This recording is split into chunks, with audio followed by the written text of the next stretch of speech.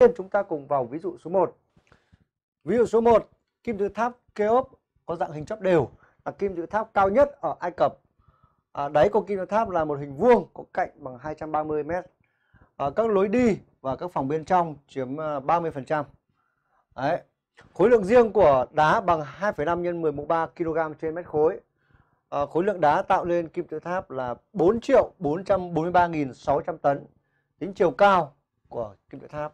Đó, bài toán cho chúng ta bốn kết quả. Này, chúng ta cùng phân tích này. Bài toán yêu cầu tính chiều cao của kim tự tháp mà trong khi đó bài toán cho đáy đây, đáy là hình vuông đúng không? Đáy là hình vuông cạnh dài 230 m. Như vậy để tính chiều cao thì ta phải tính thể tích thông qua công thức. À, ta đã biết công thức thể tích của khối chóp bằng 1 phần 3 diện tích đáy nhân với chiều cao là h. Không nào? Từ đó ta rút ra được h bằng 3v chia cho diện tích của đáy. Đáy của chúng ta là hình vuông. Đó, hình vuông người ta đã cho cạnh bằng 230 m thì ta tính được diện tích. Đúng không nào? Vậy quan trọng là chúng ta phải tính thể tích của cái khối kim tự tháp này. Đấy.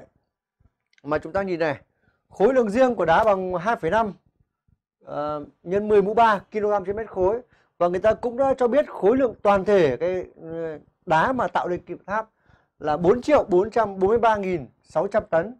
Thì ta dễ dàng tính được toàn bộ cái thể tích của khối đá. V của đá. V bằng M chia D. Đó, công thức rất đơn giản, đúng không? V bằng M chia D. Như vậy sẽ bằng 4 triệu 443.600 tấn. Chia D. D bằng 2,5 nhân 13 kg trên mét khối thì ta đổi ra thành 2,5 đúng không? Tấn trên mét khối. Rồi ta cứ để nguyên này. Đây V của đá. Nhưng này bài toán này đã cho lối đi phòng bên và phòng bên trong chiếm 30% thì khối lượng đá đặc ấy toàn đá không ấy thì nó sẽ chiếm 70% do đó để tính toàn bộ V ấy, V của toàn bộ cái cái kim tự tháp này có cái V này gồm cả phần đặc và phần lối đi ở trong, đúng không? Đặc là đá. Và lối đi bên trong thì ta sẽ bằng bằng V của đá, đúng không? Nhân với 100 chia cho 70 đúng chưa nào?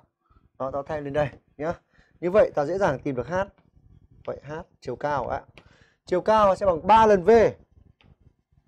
3 lần v này, ta thay vào đây, v đá, đúng không? 4 4 43 4 triệu 443 nghìn 600